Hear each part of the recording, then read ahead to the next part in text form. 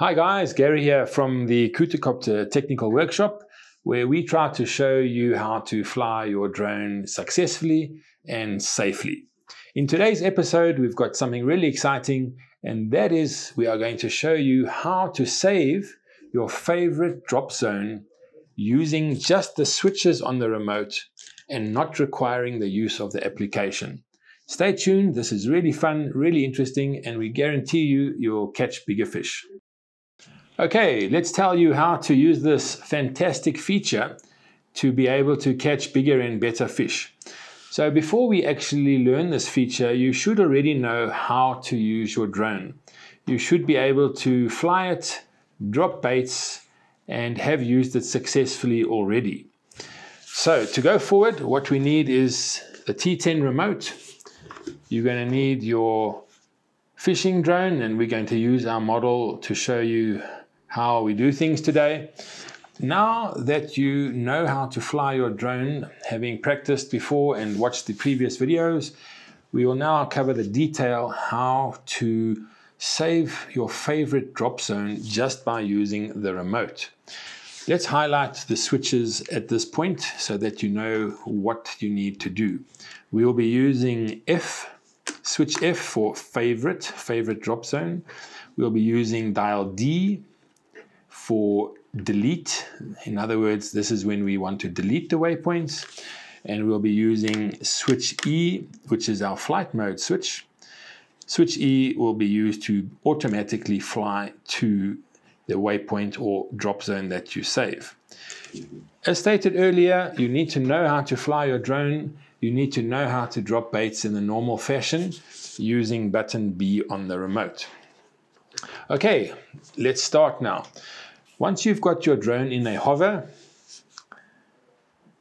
with your bait attached, we now decide to fly out in a normal fashion to where we would like to drop the bait.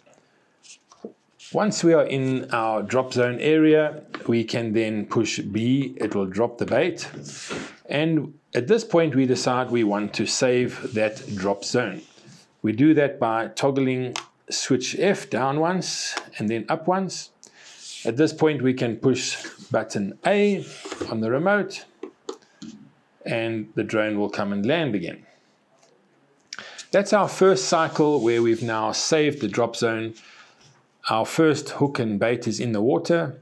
Or alternatively, you may just be putting some feed in that zone and that means you're creating a feeding area to attract more fish. So now that we've set up our feeding zone, we've got our drop zone and or our favorite drop zone saved, we can now fly our drone to that spot using auto mode. Remember, switch E is our flight mode. In the up position, it is loiter, and we're going to use auto, which is all the way down. Take off your drone in a normal fashion and let it hover at about 20 meters. Once the drone is safely up with your line attached and your bait, all you now need to do is click switch E and the drone will automatically fly to the saved waypoint. Once you are now at the drop zone, we just drop the bait in the normal fashion with button B and the bait will drop. Click A and the drone will auto land back at the original landing zone. So in summary, what we have now is we've added a few switches to fly automatically. Switch F will save where you would like the waypoint to be. Switch E will go into auto mode and the drone will fly there automatically. And lastly, dial D, when we swing dial D over, it will delete any previous waypoints. Take note, however, you need to delete those waypoints whilst your drone is in a hover. So at the end of the day or at the beginning of the new day, hover your drone, swing dial D, that will delete the waypoints and then come and land. I think that will help you understand how to use this simple feature of saving your favorite drop zone.